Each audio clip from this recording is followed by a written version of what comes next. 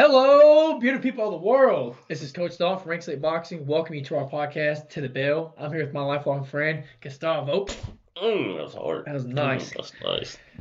Oh, man, dude. Uh, a couple big things in the boxing world going on, taking place. The big one is the guy that we've been talking about a lot in the podcast. Man. I mean, Andy Ruiz, Ruiz. is up next to face Tyson Fury, and they're looking for July 22nd, and it's probably going to be in the UK, is what I'm assuming. It's probably going to be in the Really? United Kingdom. That's what I'm thinking. Man, what do you think Uh, about that, man? I, I, I don't know if you. I've been texting you since I heard it. First time I heard it, I, I sent it on Facebook, and I right, I sent it to you. I was like, "Is this true?" And you was like, "Well, it's, they talking about it. Ooh, this." was-" I was like, "Dang, I hope it does happen." You said, "I hope it does happen." Dude, I want to see Andy fight anybody. Because you clearly you told me like Andy was like number five in the rank, no five, like top five, top six, something like that.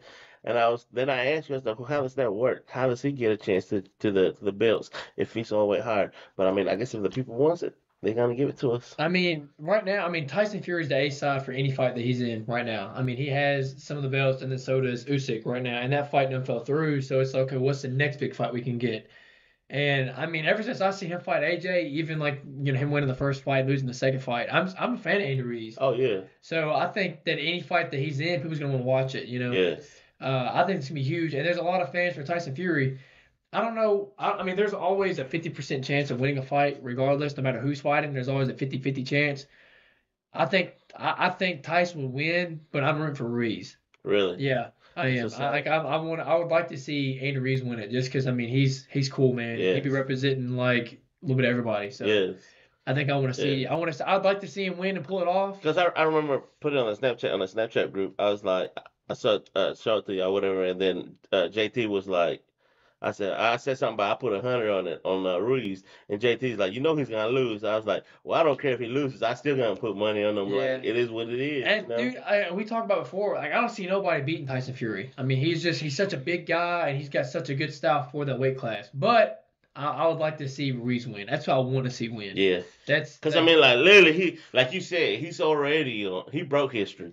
Like, you yeah, know, he he's made his, already he already made he's history. The, Here's he's the the only Mexican, Mexican heavyweight, yeah. ever to have a world champion, like to have a world champion belt. So I mean, he's already made history. But he brings so much to the table, man. He's got he, and he throws combos.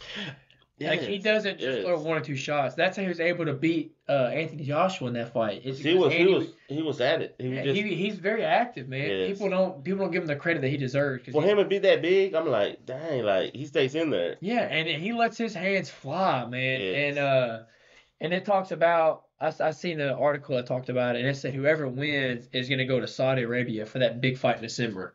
And I mentioned it. I haven't talked about it a lot in like any of the YouTube uh podcasts we have, but I did mention like the YouTube shorts that Saudi Arabia wants to host A big a- mega fight. Yeah, just a mega fight one night thing, right? So whoever would win that is automatically submitted for that. So I mean, we'll see what happens. And then uh, the next for the heavyweight division is Deontay Wilder fighting Anthony Joshua, most likely in December.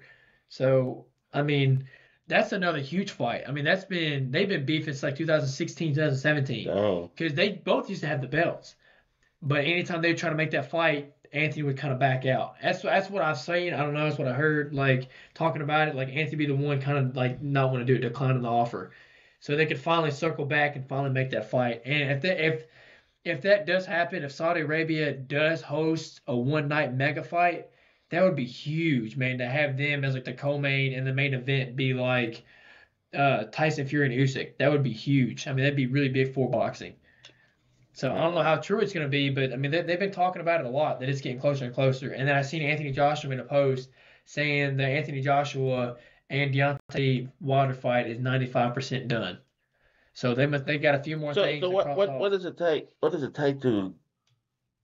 I guess to make that fights like Uh, I mean, the the longest part is like getting the contract set up because that's when they declare, you know, who's gonna referee the fight, how big is the ring gonna be, what glove brand are we gonna wear.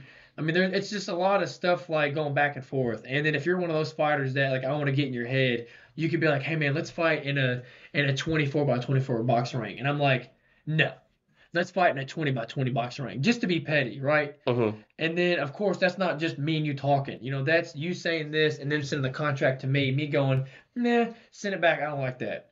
just me to be, you know, just to be an ass. So I mean, it could be. There's a lot of things that go into play before making a fight. You know, it's not just I want to fight you, you want to fight me. I mean, That's the way I thought. in That's the way I thought it was like. There's there's a lot in there, man, and I mean we'll see. Like yeah, I, as far as what I've seen, Deontay's been wanting to fight Anthony Joshua, and it just seems to be his side backing out Why's he so- backing out? You think? because Deontay has that. He has this right here. Mm. This is a, a, a good night button. You know, he's Mm. got that killer right hand, so nobody wants that. And So Anthony Joshua, Anthony Joshua is Eddie's, you know, golden goose, yeah, right? So Eddie Hearn is like the main guy for his team. He's like the main manager and all like promoter, right? So he's he don't want nobody to beat Anthony Joshua. Right now, Anthony Joshua is starting to climb up again since he got beat by Andy Ruiz. He's starting to kind of come back in there, and then he lost to Usyk and lost his belts. But that's like his golden goose. So he, I don't think he wants to see him lose. If he loses to Deontay Wilder, then it's like, well, who else you gonna fight? so so is that why like uh Isaac and uh uh Tank? That's why Tank don't want to take the fight because he's kind of scared. Of, Uh, of- you think? I mean, maybe, but like I don't see that fight happening unless he gets a belt. And we talked about that before. I'd Yeah. love to see that fight, You know, like I'm a huge fan. Like I'll be rooting for Gervonta, but I, I don't think he's gonna do it because he don't have a belt. You know, Mm. unless it's like a huge payday. But right now, Gervonta is like gunning for either Lomachenko, Devin Haney, Shakur Stevenson. Like those are the main guys that he's gunning for now. The only one that makes sense would be Devin Haney, considering he has the belts. He doesn't gain anything fighting Shakur, and I've seen a lot of people saying like, "Oh, Shakur should fight him." Shakur's Shakur's a beautiful fighter. Shakur hangs out with Timothy Bradley, Andre Ward, Terrence Crawford. These are huge names in boxing that have, I mean, a lifetime of knowledge, and each one of them are like considered goats in my eyes. Mm. So he's got unbelievable knowledge backing him up. That like Yeah. like his his homies, his buddies, are like Hall of Famers, like world champion status. Dang. Oh, so all they're that all knowledge. yeah, they're a all that bunch. knowledge, Of, all they're that a whole knowledge. bunch of Michael Jordans in boxing. Ooh. So you know he has unbelievable knowledge, but what does he bring to Tank? Nothing. Nothing. So, and I'd love to see that fight. I, to be honest, I don't know who I'd have in that fight, but So- the only way Gervonta's gonna face you is if he's getting a big payday, A big payday or a belt. or he's getting a belt number two. That's it. That's the only way. So if he's he's do done like doing them petty fights, them yeah, uh, he's he's he's like a- you know he's he's, like, he's 28 years old and he's just trying to solidify his legacy. oh, If it's not gonna give him that belt and give him that big stake, then he he really don't want it.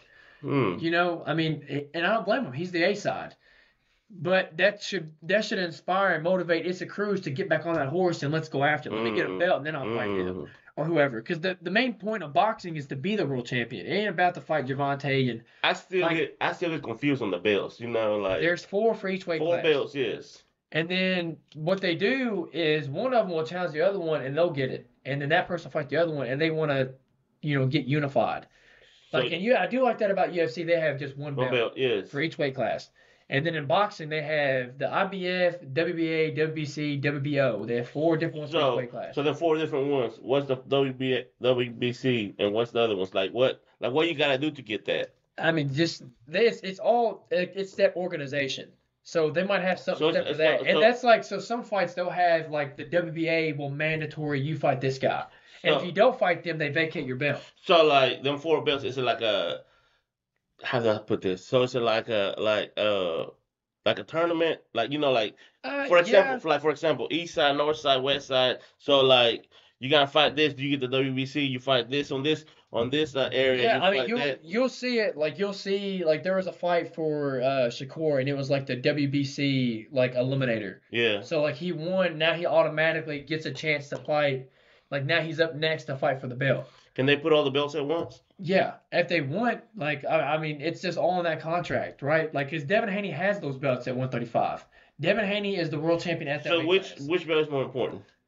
Out of all four of them. They're they're They're all all the just same? Yeah, they're all just Wow. it's a belt, right? There's not one that outweighs the other. Yeah, right, right, right. So, uh, but Devin has all of them. He has all the belts. So, I mean, Gervonta, if he wants to be a world champion, he's got to fight Devin Haney eventually. He has to. And I and I talked about that before. Devin Haney did an interview and he said that he wants to fight. He wants to fight the winner of the fight that happened Saturday with Gervonta Davis and Ryan Garcia if he stays at 135 because he's been at the same weight class for a while. If he goes up in weight because he's getting older, if he goes up in weight, he wants the winner of Teofimo Lopez and Josh Taylor. But neither one of those fights are those big paydays. Nobody really want to see those fights. They want to see Devin Haney, Shakur Stevenson, Devin Haney, Gervonta Davis, Devin Haney, Ryan Garcia. They those are the fights they want to see. They don't want to see him go up in weight class and fight them. That's not a big payday. That's not nothing big, you know. And then you don't know this, but Ryan Garcia and Devin Haney they fought the amateurs a few times. So that that'd be a big payday too because they'd be like, oh, They "Oh, already got blood. They, Yeah, they they've already got yeah, that stuff. they- So, yeah, yeah, yeah. so that you know, like the trash talk can go based off that. I done beating the amateurs. I'm beaten Yeah. two times on the amateurs. This is just another day right Another here. day right there. Now yeah. we just ain't gotta wear headgear. You know, they can do that, get all back that and forth. sell that fight. Yeah, Get, get, yeah. but I mean, You I, heard of? I- and I, this is funny. So we talked about it yesterday, and I looked up uh, Isaac Cruz the other day, and there's no, he has nothing in line for any fights. Right I know. Like I, I was, I was watching the thing say something about like nobody wants to fight him. Like no, like they ain't got nothing.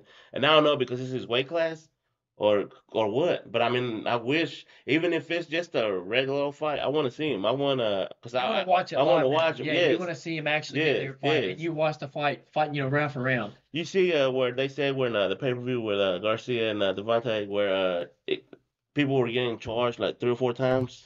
Mm, I did not see that. Yes, they said they were getting charged three or four times. So they called it. People and said, "Well, we just gonna give you the free fight Canelo this weekend. This coming up Saturday, I think." What? Yeah, Yeah, yeah. next Saturday. next Saturday. Yeah, Next Saturday. they said like they were charging them like three. Some people got charged four times. So they called them. It was like, "Well, we just give you the free fight Canelo, or whatever."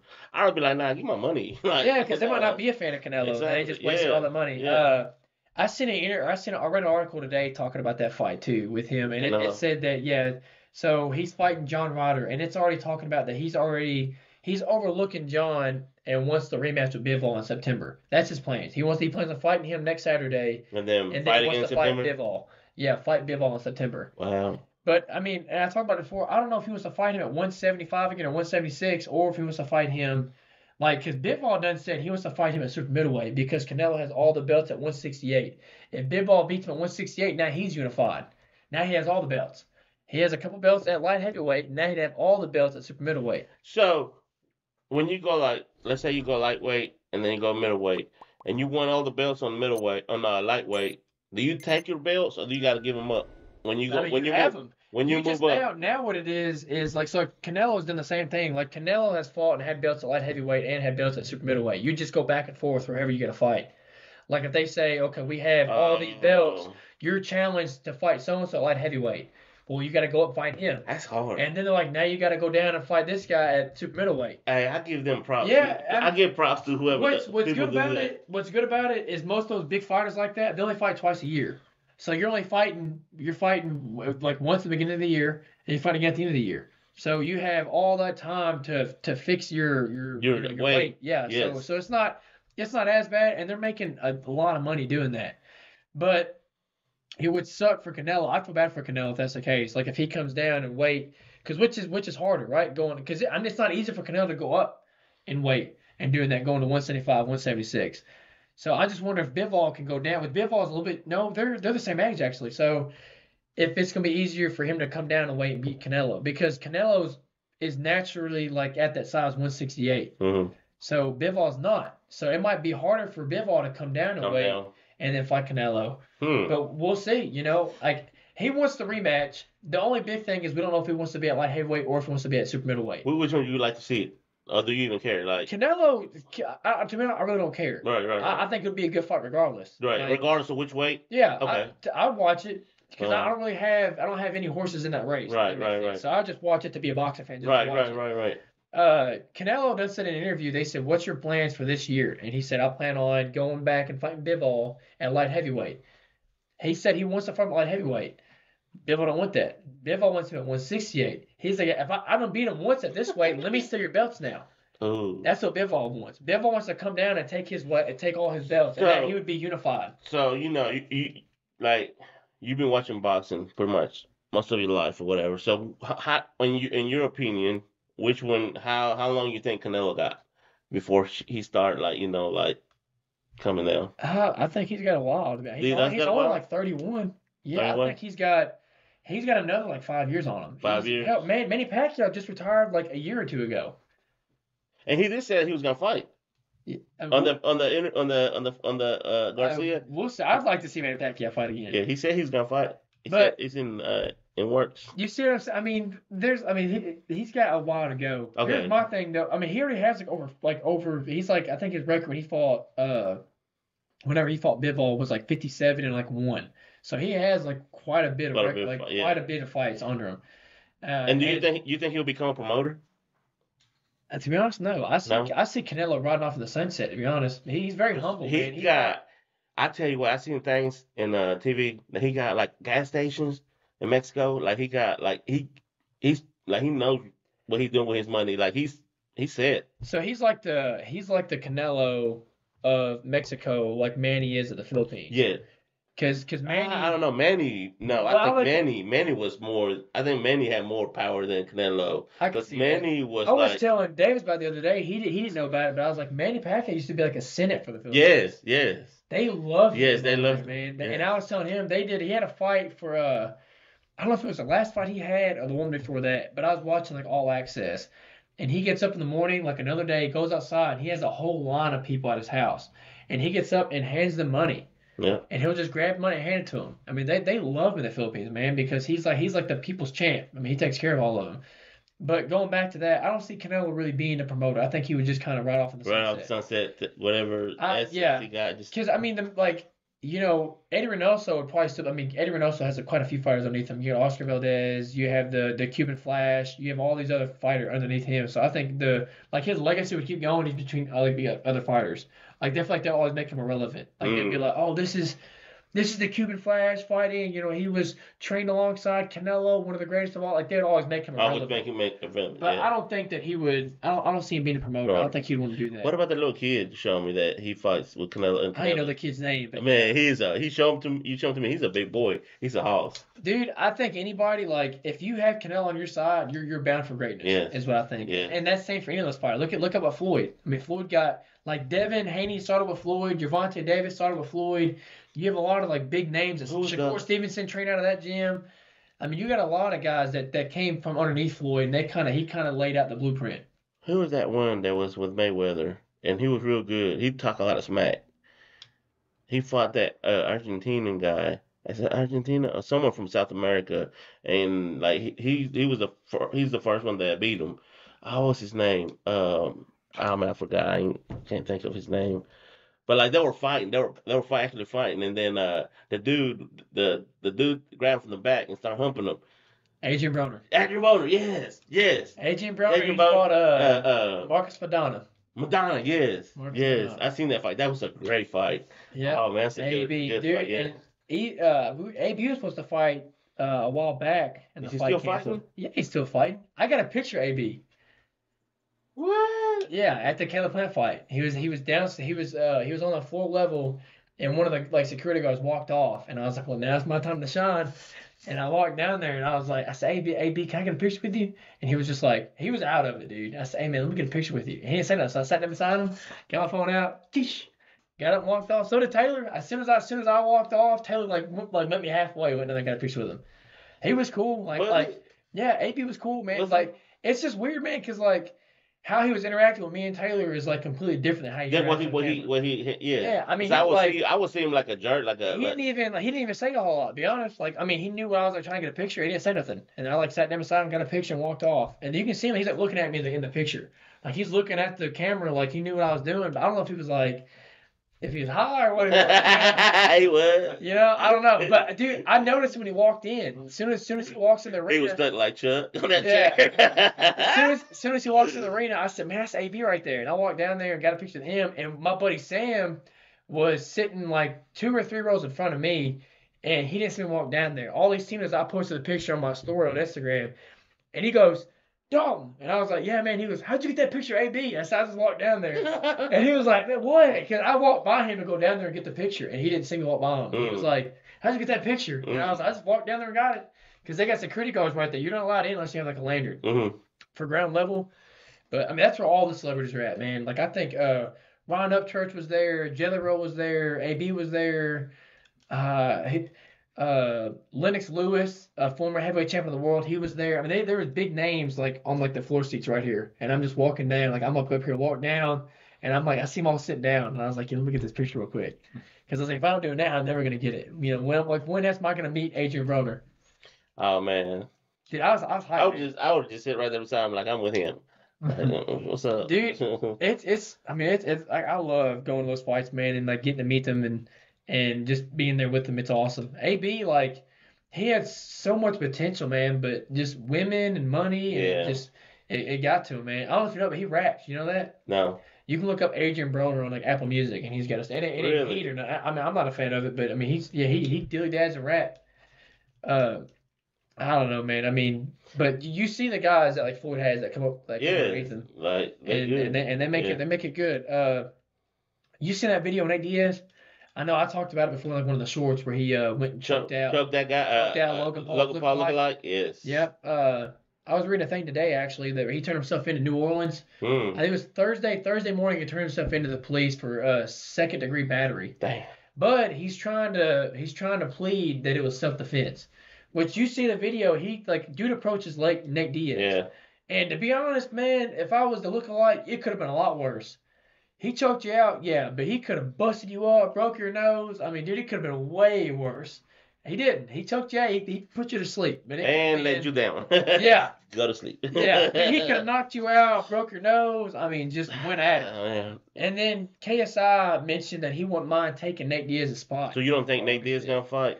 Oh boy. To be it's too early, man. It's too early. I mean, you got May, June, July. Hell, that's like three and a half, four months away from now. So I mean, you got you got a while for that fight to even take place. But KSI is just already like kind of easing up. Nah, he man, I'll needs to just fight- mind his business and let He's like, I'll take care you. of it. Yeah. Yeah, the thing is, man, like I think when that fight, I mean, it's not a if, it's it's a win. KSI and Jake Paul is gonna fight. I don't know when, but when they do, it's gonna be it's gonna be huge for like the YouTube fight.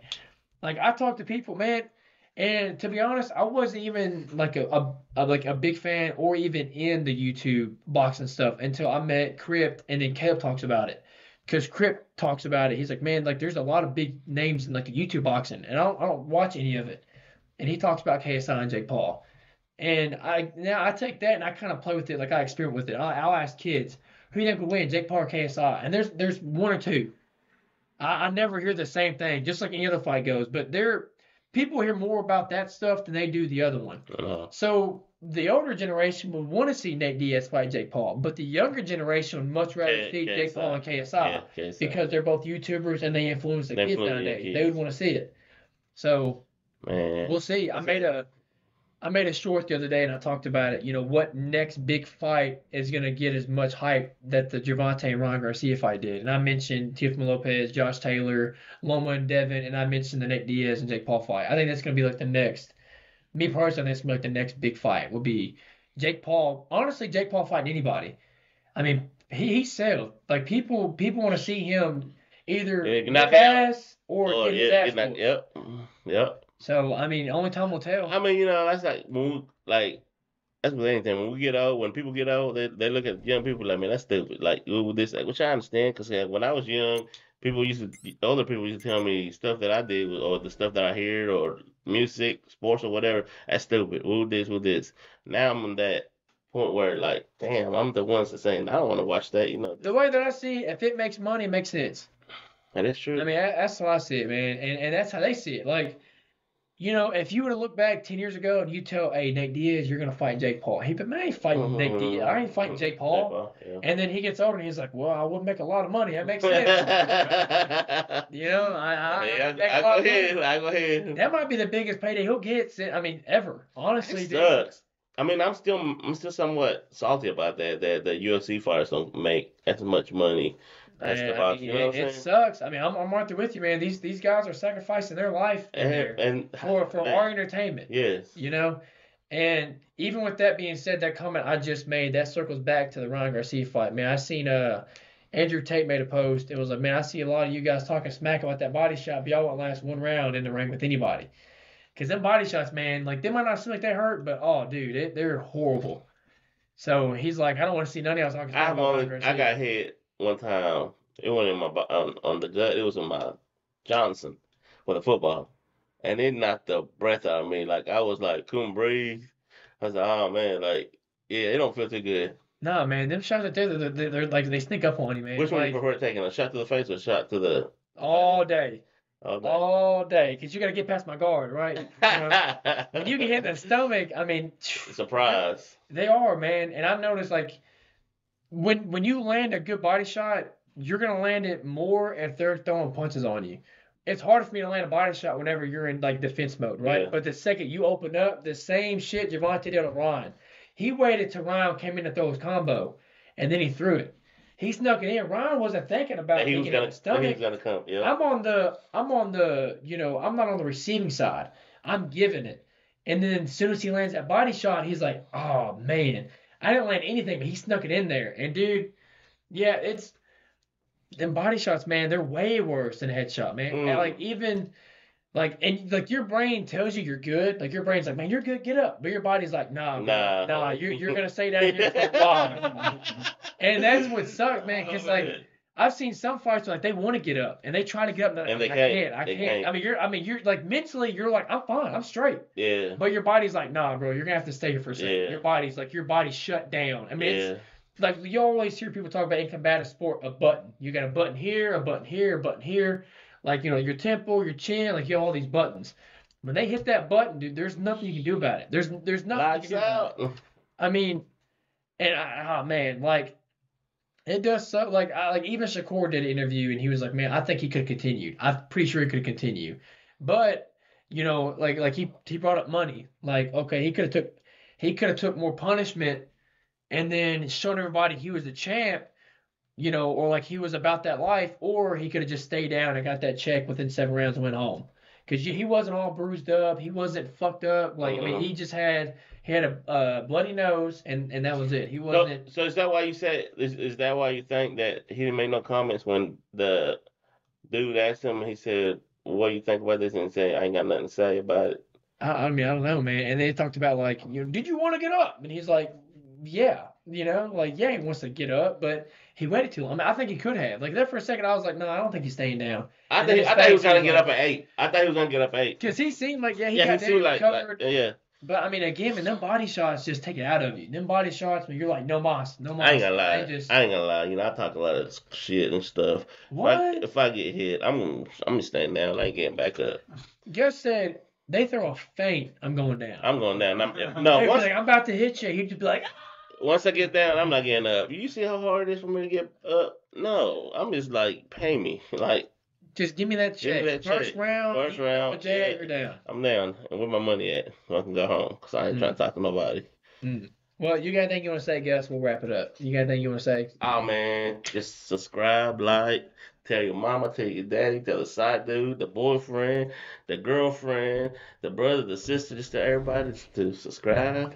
Tell them all. Tell them all. Everybody. If you guys like what you see, you know, we post every Thursday. Thank you guys for watching, listen to us. You have a great day and time.